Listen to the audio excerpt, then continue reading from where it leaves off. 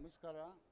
ನಾವು ಬ, ಈ ಕೃಷಿ ಮೇಳದಲ್ಲಿ ನಮ್ಮ ಸಂಸ್ಥೆಯಾದಂತಹ ಅಶೋಕ ಬಯೋಟೆಕ್ ಪ್ರೈವೇಟ್ ಲಿಮಿಟೆಡ್ ವತಿಯಿಂದ ರೈತರಿಗೆ ಬೇಕಾಗುವಂತಹ ನ್ಯೂಟ್ರಿಯೆಂಟ್ಸು ಮತ್ತು ಬೆಳೆಗಳ ಬೆಳೆಗಳಾದಂಥ ತರಕಾರಿ, ಹಣ್ಣು, ಹೂವು ಮತ್ತು ಇತರ ಎಲ್ಲ ಥರದ ಬೆಳೆಗಳಿಗೆ ಬೇಕಾಗುವಂತಹ ರಾಸಾಯನಿಕ ಪದಾರ್ಥಗಳು ಮತ್ತು ಸಾವಯವ ಪದಾರ್ಥಗಳನ್ನು ನಾವು ನಿಮಗೆ ಪರಿಚಯಿಸ್ತಾ ಇದ್ದೇವೆ.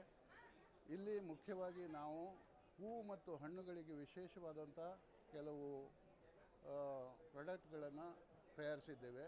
ಅದು ನಿಮಗೆ ರೈತರಿಗೆ ಎಲ್ಲ ನಮ್ಮ ಮಾರಾಟ ಕೇಂದ್ರಗಳಲ್ಲೂ ಕರ್ನಾಟಕದಾದ್ಯಂತ ನಿಮಗೆ ದೊರೆಯುವಂತೆ ನಾವು ಏರ್ಪಾಡು ಮಾಡಿದ್ದೇವೆ. ನಮ್ಮ ಪ್ರಾಡಕ್ಟು ಹೆಚ್ಚು ಜಿನೈನ್ ಆಗಿರುತ್ತೆ ಮತ್ತು ಇದು ಗುಣಮಟ್ಟದ್ದಾಗಿರುತ್ತೆ. ಮತ್ತು ಇದರ ರೇ, ರೇಟ್ ಆಗಲಿ, ಇದರ ಬೆಲೆ ಆಗಲಿ, ಯಾವುದೇ ಕಂಪನಿಯವರಿಗಿಂತ ಹೆಚ್ಚು ಕಾಂಪಿಟೇಟಿವ್ ಆಗಿರುತ್ತೆ, ಹೆಚ್ಚು ಸ್ಪರ್ಧಾತ್ಮಕವಾಗಿರುತ್ತದೆ.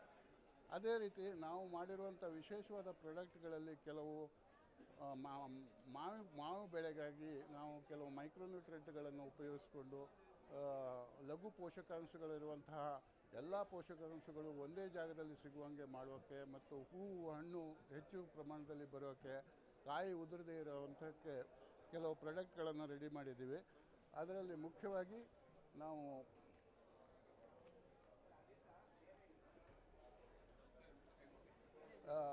ಮ್ಯಾಂಗೋ ಗ್ರೋ ಅಂತ, ಮ್ಯಾಂಗೋ ಗ್ರೋ ಅಂತ ಮಾಡಿದ್ದೀವಿ. ಈ ಪ್ರಾಡಕ್ಟಲ್ಲಿ ನಾವು ಹ- ಬರೋಕ್ಕಿಂತ ಮುಂಚೆ ಆಗಲಿ ಹೂ ಬಂದ ಮೇಲಾಗಲಿ ಅಥವಾ ಕಾಯಿ ಕಚ್ಚಿದ ಮೇಲಾಗಲಿ, ಇದನ್ನು ಮೂರು ಗ್ರಾಮ್ ಪರ್ ಒಂದು ಲೀಟರಿಗೆ ಪ್ರಮಾಣದಲ್ಲಿ ಸ್ಪ್ರೇ ಮಾಡೋದ್ರಿಂದ ಹೂವು ಹಣ್ಣು ಹೆಚ್ಚಾಗುತ್ತೆ, ಕಾಯಿ ಕೊರಕ ಹುಳುಗಳು ಕಡಿಮೆ ಆಗುತ್ತವೆ ಮತ್ತು ನಿಮ್ಮ ಇದು ಗುಣಮಟ್ಟ ಸಹಿತ ಪ್ರ, ಇದು ಹೆಚ್ಚಾಗುತ್ತಾ ಇರುತ್ತೆ. ಅದೇ ರೀತಿ ನಾವು ಕೆಲವು ಗ್ರ್ಯಾನ್ಯೂಲ್ಸ್ಗಳನ್ನು ಹ್ಯೂಮಿಕ್ ಆ್ಯಸಿಡ್ಗಳನ್ನು ಇಲ್ಲಿ ಹ್ಯೂಮಿಕ್ ಆ್ಯಸಿಡ್ ಅಂತ ಇರುತ್ತೆ. ಇದರಲ್ಲಿ ಇದು ಗ್ರ ಕಾಳುಗಳ ಥರ ಇರೋದ್ರಿಂದ ಇದನ್ನು ನೀವು ಭೂಮಿ ಮೇಲೆ ಎರಚಿಕೊಂಡು ಬರ್ಬೋದು. ಅಥವಾ ಗಿಡಗಳಿಗೆ ಸುತ್ತಲೂ ಹಾಕೋದ್ರಿಂದ ಇದು ನಿಧಾನವಾಗಿ ಗಿಡಗಳಿಗೆ ಎಲ್ಲ ಬ, ಎಲ್ಲ ನ್ಯೂಟ್ರಿಯೆಂಟ್ಗಳನ್ನು ಕೊಡುತ್ತೆ. ಇದರಿಂದ ಗಿಡಗಳು ಮತ್ತು ಮಣ್ಣು ಸಹಿತ ಅತ್ಯಂತ ಚೆನ್ನಾಗಿರುತ್ತೆ. ಬೇರೆ ಸಾವಯವ ಗೊಬ್ಬರದ ಥರ ಇದನ್ನು ಕೆಲಸ ಮಾಡೋದ್ರಿಂದ ಈ ಮಣ್ಣಿನ ಸವಕಳಿ ಸಹಿತ ಆಗೋದಿಲ್ಲ. ಮತ್ತು ಇದಕ್ಕೆ ಬೇಕಾಗುವಂಥ ನ್ಯೂಟ್ರಿಯೆಂಟ್ಗಳು ಹೆಚ್ಚಿನ ಪ್ರಮಾಣದಲ್ಲಿ ಸಿಗುತ್ತೆ. ಇದು ನಿಮಗೆ ಒಂದು ಕೆ ಜಿ ಐದು ಕೆ ಜಿ ಹತ್ತು ಕೆ ಜಿ ಅಥವಾ ಇಪ್ಪತ್ತೈದು ಕೆ ಜಿ ಬ್ಯಾಗ್ಗಳಲ್ಲಿ ಸಹಿತ ಇದು ಸಿಗುತ್ತೆ. ಪ್ರತಿಯೊಂದು ಎಕರೆಗೆ ನೀವು ಎಂಟರಿಂದ ಹತ್ತು ಕೆ ಜಿ ತನಕ ಇದನ್ನು ಉಪಯೋಗಿಸ್ಕೋಬೋದು. ಎಷ್ಟೇ ಸಲ ನೀವು ಉಪಯೋಗಿಸಿದ್ರು ಪ್ರಮಾಣ ವಾರದಲ್ಲಿ ಒಂದು ಸಲ ಅಥವಾ ಹದಿನೈದು ದಿವ್ಸಕ್ಕೆ ಒಂದು ಸಲವೂ ಇದನ್ನು ಉಪಯೋಗಿಸ್ಕೊಳ್ತಾ ಹೋಗ್ಬೋದು. ಅದೇ ರೀತಿ ನಾವು ಗುಲ್ಶನ್ ಗ್ರೋ ಅಂತ ಒಂದು ಪ್ರಾಡಕ್ಟ್ ಮಾಡಿದ್ವಿ ಇದರಲ್ಲಿ ಮೈಕ್ರೋನ್ಯೂಟ್ರೆಂಟ್ ಇರುತ್ತೆ. ಕೇಂದ್ರ ಸರ್ಕಾರದಿಂದ, ರಾಜ್ಯ ಸರ್ಕಾರದಿಂದ ಇದು ಪ್ರಮಾಣೀಕರಿಸಲ್ಪಟ್ಟಿದೆ. ಇದನ್ನು ಉಪಯೋಗಿಸೋದ್ರಿಂದ ನಾವು ಹೂ ಬೆಳೆಗಳಲ್ಲಿ ಮುಖ್ಯವಾಗಿ ಗುಲಾಬಿ ಮತ್ತು ಸೇವಂತಿಗೆ, ಆಮೇಲೆ ಚೆಂಡು ಹೂವು ಇಂಥ ಬೆಳೆಗಳಲ್ಲಿ ಹೆಚ್ಚಿನ ಇಳುವರಿ ಮತ್ತು ಗುಣಮಟ್ಟದ ಬೆಳೆಗಳನ್ನು ನಿರೀಕ್ಷಿಸಬಹುದು. ಇದನ್ನು ನೀವು ಡ್ರಿಪ್ ಇರಿಗೇಷನ್ನಲ್ಲಿಯೂ ಕೊಡ್ಬೋದು. ಅಥವಾ ಸ್ಪ್ರೇಗಳನ್ನು ಮಾಡ್ಬೋದು ಅಥವಾ ಭೂಮಿಗೆ ಸಹಿತನೂ ಹಾಕೋದ್ರಿಂದ ಭೂಮಿಯ ಫಲವತ್ತತೆ ಹೆಚ್ಚಾಗುತ್ತೆ ಮತ್ತು ಹೂಗಳ ಕ್ವಾಲಿಟಿ ಸಹಿತ ಚೆನ್ನಾಗಿ ಬರುತ್ತೆ. ಆಮೇಲೆ ಹೂವು ಉದುರು ಹೋಗೋದಿಲ್ಲ, ಆಮೇಲೆ ಫಂಗಸ್ ಡಿಸೀಸ್ಗಳು ಸಹಿತ ಎಷ್ಟೋ ಪ್ರಮಾಣದಲ್ಲಿ ಕಡಿಮೆ ಆಗುತ್ತೆ. ಇದೇ ಪ್ರಮಾಣದಲ್ಲಿ ನಾವು ಕೆಲವು ಉತ್ತೇಜಕಗಳನ್ನು ರೆಡಿ ಮಾಡಿದ್ದೀವಿ. ಇದನ್ನು ನಾವು ಜಯಂತ್ ಅಂತ ಕರಿತೀವಿ.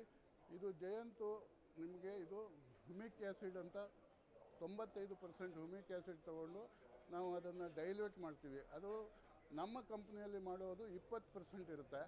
ಬೇರೆ ಕಂಪ್ನಿಗಳಲ್ಲಿ ಅದರ ಪ್ರಮಾಣ ಕಡಿಮೆ ಇರುತ್ತೆ. ಇದು ಶೀಘ್ರವಾಗಿ ನಿಮ್ಮ ಬೆಳೆಗಳಲ್ಲಿ ಮಣ್ಣಿನಲ್ಲಿ ಇಳಿತ ಆಗಿಬಿಟ್ಟು ಮಣ್ಣು ನೀರಿನಲ್ಲಿ ಚೆನ್ನಾಗಿ ಕರಗೋದ್ರಿಂದ ಮತ್ತು ಇದು ರೂಟ್ಗಳನ್ನು ಬೇರುಗಳನ್ನು ಹೆಚ್ಚಿನ ಪ್ರಮಾಣದಲ್ಲಿ ಬರೋಂಗೆ ಮಾಡುತ್ತೆ. ಗಿಡಗಳು ಬೆ ಚೆನ್ನಾಗಿ ಬೆಳೀತವೆ. ಹೂವು, ಹಣ್ಣು, ಕಾಯಿ ಕಚ್ಚುವುದು ಇದಾಗುತ್ತೆ. ಇದರ ಪ್ರಮಾಣ ಸಹಿತ ಮೂರು ಗ್ರಾಮ್ ಪರ್ ಲೀಟರ್ ಇರುತ್ತೆ. ಇದನ್ನು ನೀವು ಒಂದು ಕಾಲು ಲೀಟರ್ ಆಗಲಿ, ಒಂದು ನೂರು ಎಂ ಎಲ್ ಆಗಲಿ ಅಥವಾ ಐದುನೂರು ಎಂ ಎಲ್ಲು ಮತ್ತು ಒಂದು ಲೀಟರ್ ಈ ಥರ ಪ್ರಮಾಣದಲ್ಲಿ ನಾವು ಇದನ್ನು ತಯಾರಿಸಿದ್ದೇವೆ. ಅದೇ ರೀತಿ ನಮಗೆ ಕೆಲವು ಇದನ್ನು ಸಿಂಚನ್ ಅಂತ ಇದು ನಾವು ಇದುವರೆಗೆ ಕೇಳಿದ್ವಿ, ಪೌಡರ್ ಫಾರ್ಮ್ನಲ್ಲಿತ್ತು.